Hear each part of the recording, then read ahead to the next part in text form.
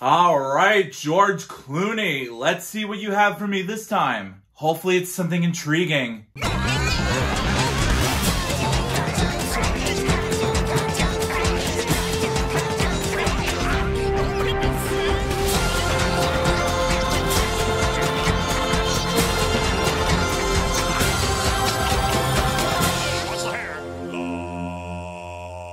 Yo, what is up, my Cinedroids? G to the S here. Today, I'm gonna be reviewing George Clooney's biggest feature debut, Ocean's Eleven. About Danny Ocean, played by Mr. Clooney himself, like I mentioned earlier, is a man of action. Less than 24 hours into his parole in a New Jersey penitentiary, the wry, charismatic thief is already rolling out his next plan following three rules. Don't hurt anybody, don't steal from anyone who doesn't deserve it, and play the game like you've got nothing to lose. Danny orchestrates the most sophisticated, elaborate casino heist in history. Now, before I get into the positive things about this movie, and trust me, there are a lot of great things to mention about this movie, so keep watching. But I do have one teensy weensy issue about this movie. But before you go shoving hate down my throat, trust me, this issue does not justify that the movie is automatically crap because of it. It's just a small gripe that I have to get off my chest real quick. No big deal. The pacing could have been picked up just a smidge faster. Throughout the whole movie, yeah, sure, there's a whole lot happening in this movie. But that's not considered a bad thing about the movie at all. In fact, if anything, that's the important aspect about the movie that keeps it going. It's just that some of the character interactions can be a bit of a slow burn sometimes. Not going against director Steven Soderbergh, he did a fantastic job coaching his actors and actresses in this movie. It's just that the pace of it needs fixing.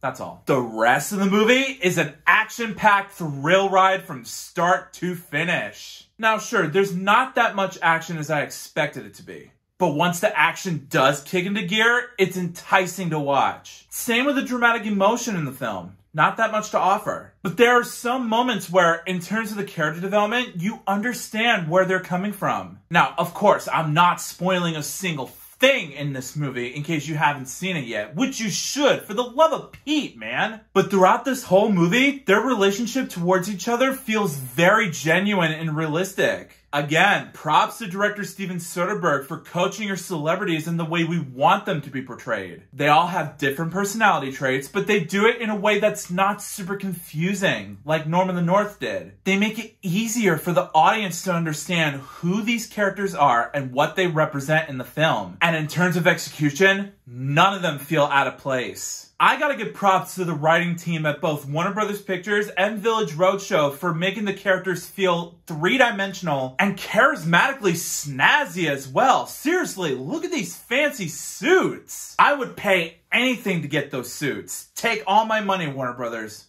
Anyways, now that I've been sidetracked just now, Speaking of writing, the storyline is intriguing and engrossing as heck. It kind of reminds me of Mission Impossible a little bit but they don't copy elements from those movies. And that's what I like about it. This movie has its own creative spin on the whole spy espionage jewel heist story. But it totally works here. Throughout this whole thing, I felt tense and nervous for these characters. They even catch you off guard here and there. When I first watched it on DVD just recently, as an audience member, I thought for sure that they were gonna fail the mission at the very end. But like an idiot, I thought horribly wrong. But that's a great thing. It's the type of intrigue that keeps you on your toes, and like a hawk, you are the onlooker, and you have to be an expert to know whether or not that they would complete the mission flawlessly without any destruction or mayhem whatsoever. So again, props to Warner and Village Roadshow for keeping me intrigued throughout the whole film. More of that, please. And as for the practical effects and the cinematography, they always look great. Nothing more needs to be said.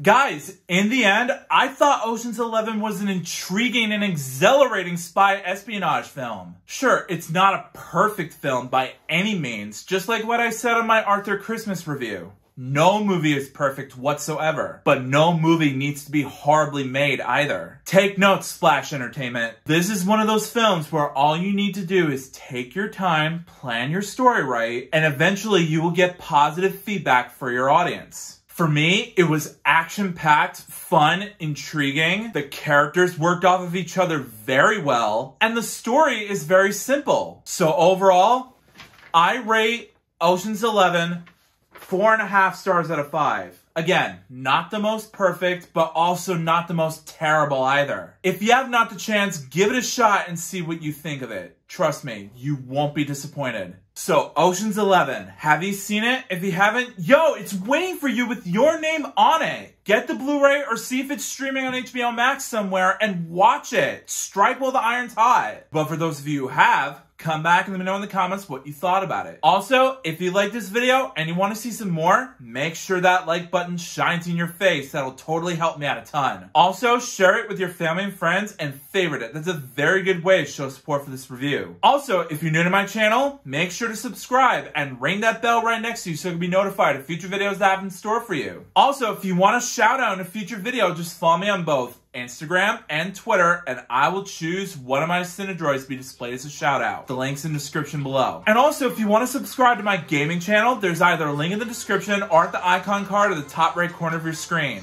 Go over there, subscribe, and let's just have fun together. But until then, I'll see you next time. Peace out.